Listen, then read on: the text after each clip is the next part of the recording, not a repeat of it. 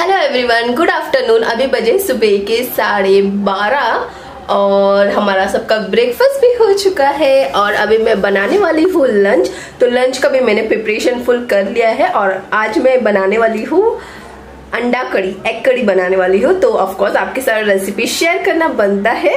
तो फिर चलिए, लेकिन इसके पहले ना मुझे आपको एक चीज़ दिखाना है। उसके लिए हमें टेरेस पे जाना होगा। तो चलिए टेरेस पे। ये है हमारे टेरेस में मिर्ची का पेड़ जो मिठुन ने लगाया था, जो मिर्ची के ग्रीन चिली की जो सीड्स होते, वही मिठुन ने गमले में डाल दिया था मिट्टी में। तो रोज पानी डालते थे तो एक महीने से इसे उगा रहे थे। तो कितना छोटा छोटा बहुत सारे मिर्ची उगे हुए हैं इस पेड़ में। छोटू सा पेड़ है, कितना क्यूट है ना। इतना छोटू छोटू सा यही मुझे कितने दिनों से आपको दिखाना था, मैं रोज भूल जाती थी, पर कितना क्यूट सा है ना, और टेस्टी भी होता है उतना। तो आपने देखा, इतनी छोटी छोटी मिर्ची हुई है। एक्चुअली मिठून ने लगाया था कुछ दिन पहले आई थिंक पंद्रह बीस दिन से ज़्यादा हो, एक महीना हो गया होगा। तो तभी लगाया था, मैंने देखा। इतना छोटा छोटा छोटा छोटा मिर्ची, कल रात को मिठुन लाए थे ना मिर्ची तोड़ के तो फिर मुझे पता चला कि मिर्ची इतनी बड़ी बड़ी हो गई, इतनी छोटी छोटी। तो हम लोग ने खाया था कल रात को, बहुत ही टेस्टी थी। लंच बनाना है, क्योंकि साढ़े बारह बज चुके हैं तो एग कड़ी अन्ना कड़ी बनाने वाले। तो ऑफकोर्स आपके साथ रेसिपी शेयर करूँगी। तो इसीलिए लेट नहीं करते, चलिए एग कड़ी अंडा कड़ी बनाते तो बस यहाँ पे मैं किचन में आ चुकी हूँ और किचन में मैंने पहले ही दाल चावल चढ़ा दिया था और उसके बाद मैंने यहाँ पे सब्ज़ी भी कट कर ली है, आलू, प्याज, अदरक, ग्रीन चिली, टमाटर और यहाँ पे मैंने अंडा जो है वो अभी तक बॉईल नहीं किया है। तो यहाँ पे मैं अंडे को पहले बॉईल करने रखूँगी, तब तक जो चावल है मैं चेक कर लूँगी, चावल मेरा पक चुका है। तो चावल को मैं गैस बंद कर दूँगी और चावल का जो पानी है उससे कंजी निकाल लूँगी। और यहाँ पे दाल भी आधे से पक चुका है तो दाल जो है मेरा, वो उसे और भी मुझे कम से कम पंद्रह बीस मिनट तक अच्छे से पकाना है। तो चावल जो हो गया है तो अभी मैं गैस बंद कर दूँगी और चावल में से पानी निकाल लूँगी कंजी निकाल लूँगी। और उसके बाद यहाँ पे मैंने अंडा एग कड़ी बनाने के लिए चार बड़े बटाटा लिया है, चार पाँच ग्रीन चिली लिया है, तीन बड़े प्याज लिए हैं, अदरक, लहसुन लिए हैं और टमाटो जो है मैंने वो तीन बड़े टमाटर लिए हैं तो ऑलमोस्ट ये छः अंडे के लिए है। और यहाँ पे अंडा पक बॉईल करने रख दिया है मैंने। और साइड में अब मैं दाल बन चुका है तो पक चुका है तो दाल को मैं तड़का लगा रही हूँ। तो मसूर की दाल है, मैंने ऑलमोस्ट पहले भी दिखाया है, मैं कैसे तड़का देती हूँ तो इसलिए इस वीडियो में नहीं दिखा रही हूँ। और यहाँ पे अंडा, एक कड़ी बनाने के लिए सिनेमन इलायची ब्लैक पेपर लवंग, तेजपत्ता और सूखी मिर्च चाहिए। तो इन सारे चीज़ों की ज़रूरत है और मेरा दाल पक चुका है, दाल को मैंने तड़का लगा लिया है और बट अंडा भी अच्छे से बॉईल हो चुका है, उसे भी निकाल लिया है तो गैस पे मैं अब यहाँ पे कढ़ाई गरम करने रख दी हूँ और यहाँ पे बटाटा जो है वो उसे मैं पहले फ्राई कर लूँगी। और बटाटा जो है ना, मैंने वो बड़े बड़े बटाटा लिया है तो हमारे घर में क्या होता है कि हम जब नॉनवेज बनाते हैं चिकन मटन या फिर अंडा तो हम इस तरह बड़े बड़े बटाटे ही रखते हैं तो बहुत ही ज़्यादा अच्छा लगता है खाने में। और अंडा कड़ी बना रही हूँ तो एग कड़ी बना रही हूँ तो एग कड़ी में बटाटा और भी ज़्यादा अच्छा लगता है। हम इसे पूरा पतला झोल बोलते हैं, पतला कड़ी के हिसाब से बनाएँगे। तो बस यहाँ पे मैंने सारे अंडे के छिलके निकाल लिए हैं। और यहाँ पे मैं अंडे में फोक की मदद से इस तरह खड्डा कर ले रही हूँ, ताकि इसमें अच्छे से जो मसाला मैं अभी ऐड कर रही हूँ, हल्दी, नमक, लाल मिर्च पाउडर और धनिया पाउडर तो इसमें अच्छे से चला जाए और पकाने के समय भी अंडे में जो मसाला है वो अच्छे से ऑब्ज़र्व हो जाए। तो बस इसमें मैं अब हल्दी नमक जो है मिक्स कर ले रही हूँ इसे और उसके बाद इसे फ्राई कर लूँगी अंडे को। तो हमारा बटाटा जो जो है वो भी फ्राई हो चुका है तो बस अच्छे से ब्राउन फ्राई हो गया है तो अभी मैं निकाल ले रही हूँ और अंडा जो है उसी कढ़ाई में मैं फ्राई कर लूँगी। तो अंडे को बस दो या से तीन मिनट तक फ्राई करना है। तो बस अंडे को भी अच्छे से फ्राई कर लूँगी दो से तीन मिनट तक। और यहाँ पे अंडे को हमें अच्छे से फ्राई करना है, ताकि अंडे में जो है अंदर तक मसाला जाए तो अच्छा टेस्ट है। और यहाँ पे अंडा जो है ऑलमोस्ट फ्राई हो चुका है तो अंडे को भी मैं अब निकाल लूँगी एक एक करके।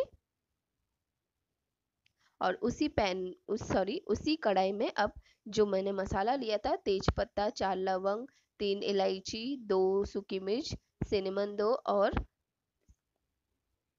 ब्लैक पेपर तो उसमें ही मैंने सारा मसाला डाल दिया और इसे भी अच्छे से एक मिनट तक फ्राई कर लूँगी। और यहाँ पे ग्रीन चिली जो था, वो मैं ऐड कर चुकी हूँ।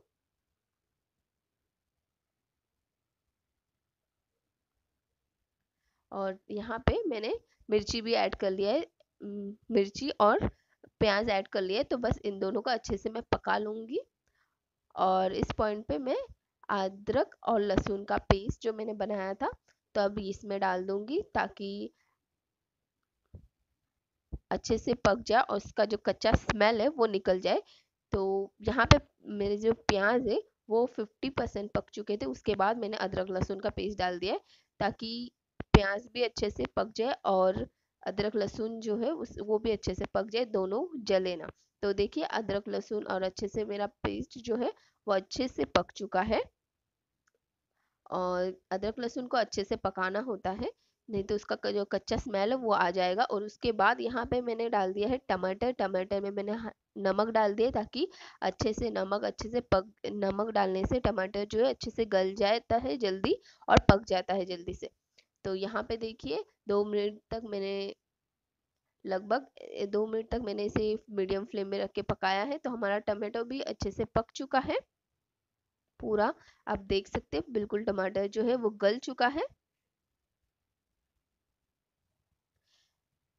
किसी भी नॉनवेज रेसिपी में मेन जो होता है वो अदरक, लहसुन, टमाटर, प्याज जो है उसे अच्छे से फ्राई करना, पकाना, क्योंकि उस पर ही डिपेंड करता है कि आपका मसाला जो है वो स्मेल ना करे, कच्चा ना रह जाए। तो यहाँ पे उसके बाद टमाटर पकने के बाद मैंने सारे बेसिक रूटीन जो मसाला होते सब डाल दिए। हल्दी, नमक सॉरी नमक नहीं डाला, हल्दी, लाल मिर्च, धनिया पाउडर और गरम मसाला डाल दिया। और इसे भी मैं एक मिनट तक, एक से दो मिनट तक अच्छे से पका लूँगी ताकि मसाला भी जो है, वो अच्छे से पक जाए। तो देखिए, हमारा मसाला जो है ऑलमोस्ट अच्छे से पक चुका है। और इसमें मैंने थोड़ा सा पानी डाल दिया है, करीबन हाफ़ कप से भी कम। तो इसे मसाले के लिए, पकने के लिए तो इसे भी मैं आधे मिनट तक पका लूँगी। तो देखिए, हमारा मसाला जो है बिल्कुल अच्छे से पक के रेडी हो गया। बस इसे, बस हमें अब जो आलू है, उसे मैं डाल दूँगी पहले, क्योंकि आलू पकने में टाइम लगता है। तो इसीलिए मसाले के साथ आलू को अच्छे से मिक्स कर दूँगी और इसे भी करीबन दो से तीन मिनट तक अच्छे से पकने दूँगी, ताकि मसाला जो है वो अच्छे से और भी ज़्यादा पक जाए। और उसके बाद दो मिनट के बाद यहाँ पे मैं पानी डाल दे रही हूँ। और पानी डालने के बाद यहाँ पे मैं अच्छे से इसकी कंसेंट्री के हिसाब से जितनी मुझे कड़ी चाहिए, अंडा कड़ी एग कड़ी जितनी चाहिए पानी तो उतना मैं पानी डाल दूँगी। तो यहाँ पे मैंने दो बड़े गिलास पानी डाल दिए हैं। देखिए, दो बड़े गिलास पानी डाल दिए और यहाँ पे उसके बाद मैंने अंडा भी डाल दिया है और इसे मैं कम से कम पंद्रह मिनट तक अच्छे से ढक के पका लूँगी। तो पंद्रह मिनट हो चुके हैं और हमारा अंडा कड़ी जो है वो बिल्कुल पक के रेडी हो गया है। आप देख सकते हैं कितना अच्छा कलर भी आया और यहाँ पे मैं नमक टेस्ट कर ले रही हूँ। ताकि इस पॉइंट पे आप भी चाहे तो टेस्ट कर सकते हैं। नमक कम ज़्यादा करना हो तो इस पॉइंट पे आप चेक कर लीजिए लास्ट में। तो हमारा अंडा कड़ी बन के रेडी हो गया है। तो बस मैंने गैस बंद कर दिया है। तो लंच मेरा कंप्लीट हो चुका है।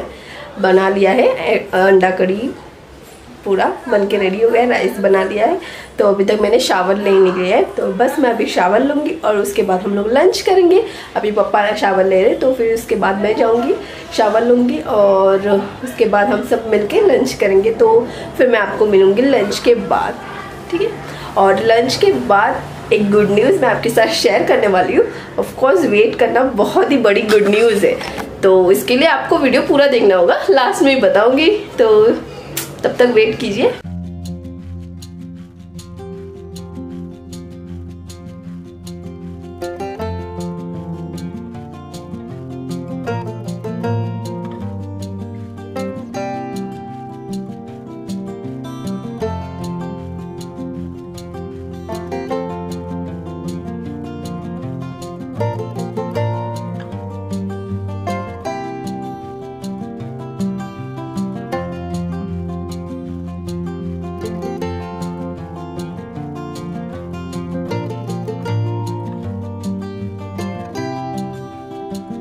सबका लंच हो गया था और लंच बहुत ही अच्छे बना था।